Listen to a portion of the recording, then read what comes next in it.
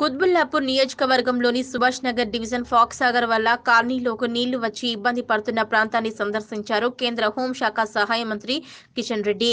ముంపునకు గురైన ప్రాంతాన్ని అన్ని విధాల సహాయం చేయాలని మున్సిపల్ కమిషనర్లకు మరియు సంబంధిత అధికారులకు ఆదేశించారు.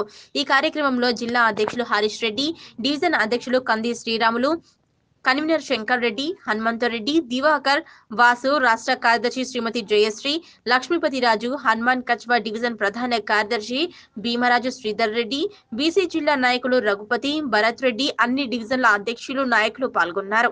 కేంద్ర మంత్రి మాట్లాడుతూ ఈ విపత్తు మన తప్పిదం వల్లే జరిగిందని దీనిపై సమగ్ర సమాచారం తీసుకొని శాశ్వత పరిష్కారం తీసుకుంటామని తెలిపారు.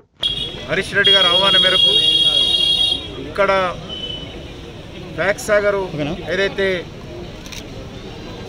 చెరువు ఉందో దాని కారణంగా సమ్మర్జ్ అవుతున్నటువంటి ఇల్లు కానీ లేక నిండి బయటకు వస్తూ అలుగు ద్వారా వస్తున్నటువంటి వాటర్ ద్వారా కానీ రెండు ప్రాంతాల్లో కూడా లోతట్టు ప్రాంతము పై ప్రాంతము రెండు ప్రాంతాలు కూడా ఈరోజు ప్రజలు ఇబ్బందులు అవుతున్నారు.